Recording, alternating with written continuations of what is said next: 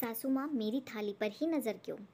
रीतिका सारा काम करने के बाद खाने के लिए बैठी तो जैसे ही रोटी के टुकड़े में सब्ज़ी लगाकर खाया तो उसे सब्ज़ी अच्छी नहीं लगी। वैसे भी परवल की सब्ज़ी उसे पसंद नहीं थी। मायके में होती तो किसी और चीज़ से रोटी खा लेती, पर यह तो ससुराल था, जहाँ पर अचार, देसी घी, दूध और दही सब सासू माँ के कब्ज़े में था। और यह सब उसके लिए तो बिल्कुल भी नहीं था, और तब भी उसे सुनाया जाता, उसे तो यह सब मिल रहा है आस पड़ोस की बहुओं को तो भरपेट भोजन भी नहीं मिलता। वह संस्कार बस कुछ भी नहीं बोल पाती थी।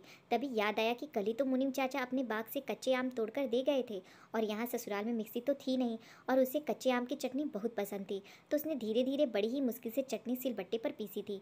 बाद में उसके हाथों में मिर्च पीसने के कारण खूब जलन भी हुई थी। जैसे ही चटनी पीसी थी, सबने स्वाद ले लेकर खाया था। तभी याद करते हुए ताखे की तरफ़ बढ़ चली और वह दीवार में बने ताखे से चटनी की कटोरी निकाल कर ले आई और खाना खाने लगी। तभी सासू माँ आई और उसकी थाली की तरफ़ देखने लगी कि वह क्या क्या खा रही है। खाना खाकर वह बर्तन धोकर आराम करने के लिए चली गई। तभी कॉलेज से लौट तेवर जी ने खाना मांगा तो सासू माँ की आवाज़ आई कि, तेरी भाभी बहुत चटोरी है। सब चटनी खा गई।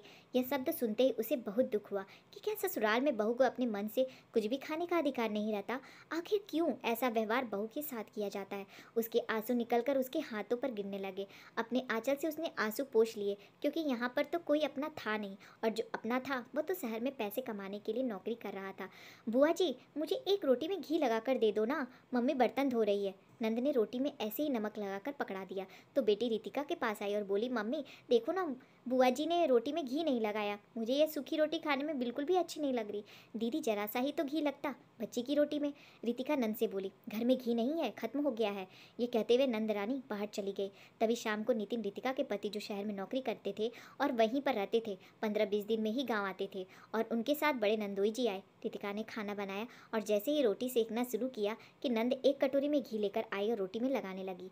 यह देखकर उसकी आँखों से आँसू आ गए। रात में उसने नितिन को अपना फैसला सुनाते हुए कहा कि अब मैं यहाँ बिल्कुल भी नहीं रहूँगी और फिर सारी बातें बताई। दूसरे दिन नंदोई जी के जाने के बाद रितिका को अपने कपड़े अटैची में रखते देख सासू माँ बोली, तुम कहाँ जा रही हो?